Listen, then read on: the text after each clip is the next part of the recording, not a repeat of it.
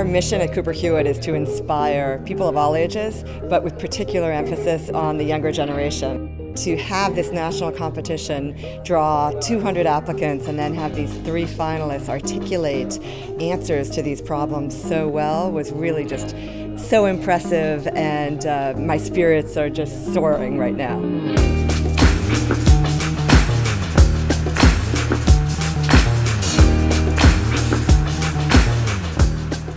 Mentor Day was great. I mean, the makerspace that we talked to the mentors in was really, really cool, and uh, the mentors actually helped a lot. They gave a lot of great advice.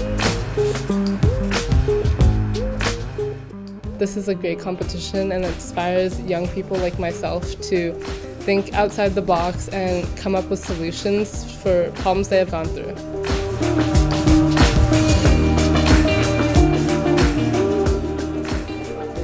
I'm very impressed. The three finalists were articulate. They had thought their plan out very carefully. It was like presenting a professional business plan to the uh, judges. How nutrition should be valued in their lives. Comida Fresca is a mobile food stand.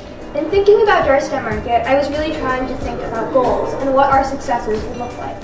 What impressed me about the finalists was the level of thought that they've actually given to the challenge and the fact that each one of them found a way to tie it back to their own story.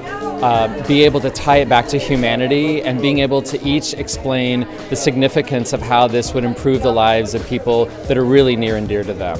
But I'm so sold on the narrative that it's like you could you could hire someone to figure it out. I don't care that you're 15. You know, like you could do that. I think there's a way that you with one iteration and some and a little bit of testing, mm-hmm. if you have that capacity, you could figure out a pretty simple set of things.